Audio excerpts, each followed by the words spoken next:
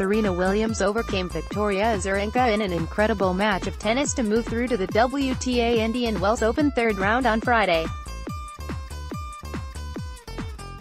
Playing for the first time since her Australian Open quarter-final loss, Williams prevailed 7-5, 6-3 against former world number 1 Azarenka in an Indian Wells Classic. In a battle of the mothers and big hitters, 23-time Grand Slam champion Williams was pushed all the way by the rejuvenated Azarenka but she managed to survive the bruising encounter after more than two hours. Azarenka, who has missed a significant chunk of the past three seasons due to injuries, the birth of her first child and a subsequent custody battle, was relentless as she saved two match points. However, 10th seed Williams was not to be denied at the third time of asking in a clash worthy of the final.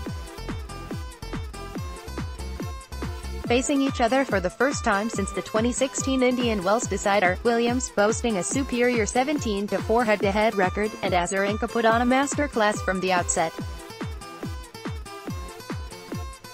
holds of serve were at a premium after Azarenka broke in the third game for a 2-1 lead against the 37-year-old American superstar.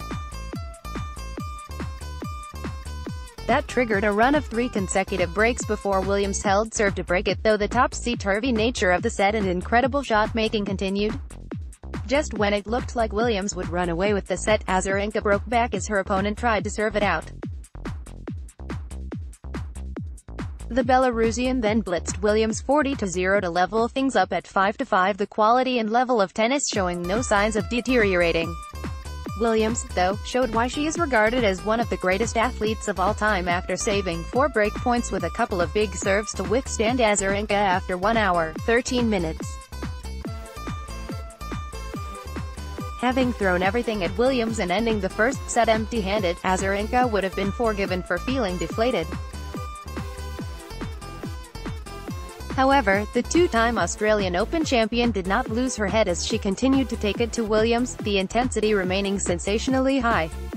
Azarenka broke and had chances throughout but Williams had all the answers as she claimed the decisive break in the fifth game before bringing an end to one of the best matches of 2019, with Garbiñe Muguruza waiting in the next round.